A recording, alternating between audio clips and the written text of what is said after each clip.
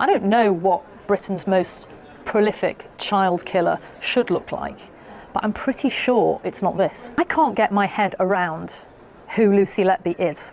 And I'm saying that as somebody who sat in a courtroom for most of a year looking at her.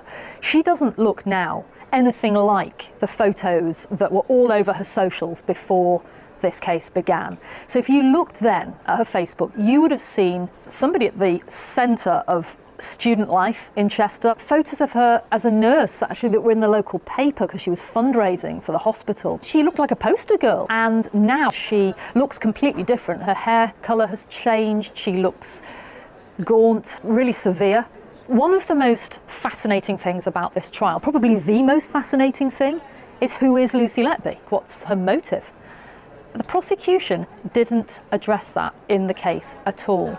They didn't need to because they had to bring evidence that showed, demonstrated that she committed murder. We don't know anything about her psychiatry, her psychology. We just know that she had a very ordinary upbringing. She grew up in Hereford, uh, really small family, just her, mum and dad, very simple life. I've spoken to uh, one of her friends who grew up with her who said that Lucy Letby only ever wanted to be a nurse.